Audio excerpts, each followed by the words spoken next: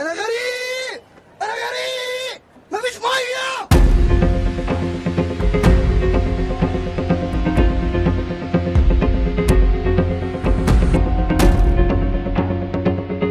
البركيز لا بيفتح ولا بيشرق. إمال بيعمل إيه؟ بيغرق.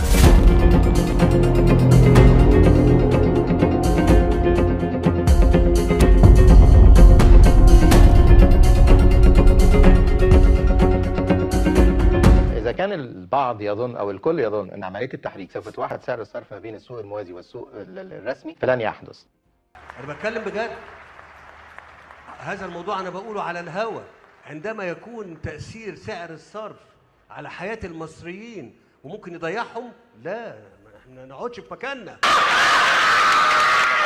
لا دي تقطوعة دي تقطوعة تقطوعة بسيطة من التقطيع بتاعته.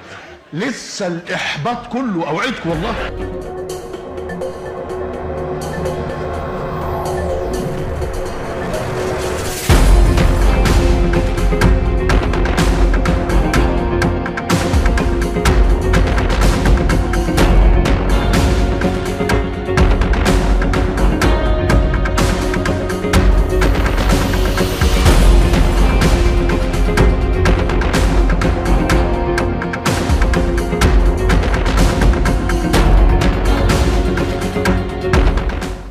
خلاص استحملوا بقى.